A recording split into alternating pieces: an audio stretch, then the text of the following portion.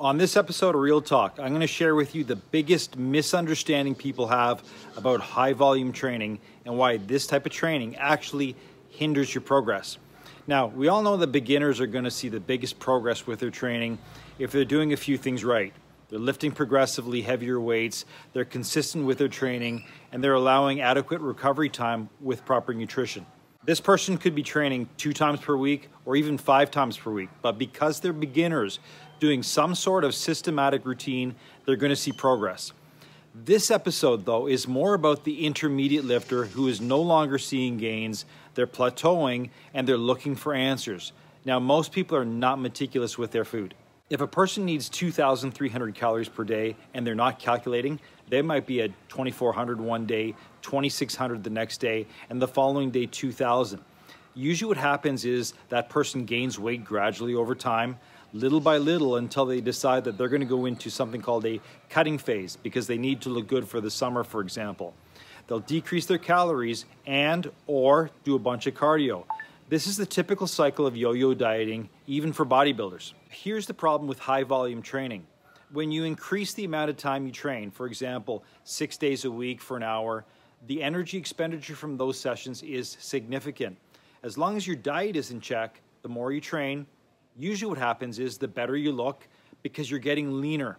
When my arm was 18 inches and I had 12% body fat, it has a certain look to it. Now, when my arm was 17 inches and I was 5% body fat, all the definition popped. My arms looked bigger, and when I was pumped, my arms looked really good. Understand my arm is smaller. I'm not as strong. I actually lost a bit of muscle in the process of dieting down. Here's the point short term and mid term, High volume training may in fact make you look better because you're looking leaner. Look at any bodybuilder at their peak versus off season, they're two completely different people. So, Tom, where's the problem? Long term, this is called bodybuilding.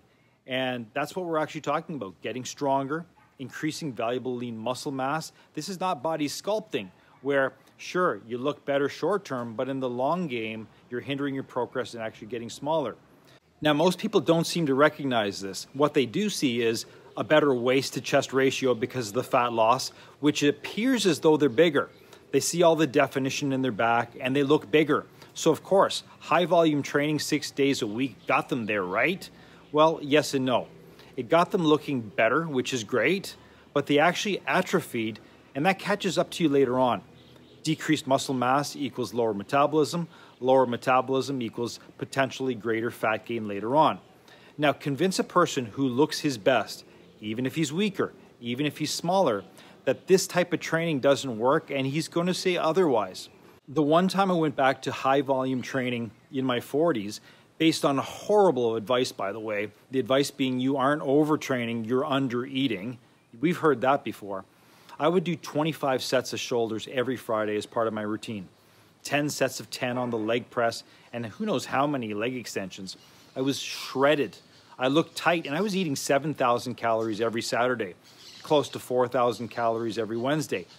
But I was hurting everywhere. More importantly, I wasn't making any gains. Let's not kid ourselves here.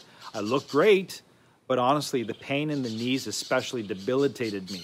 I wasn't bodybuilding. I was body maintaining at a cost, and this was not sustainable.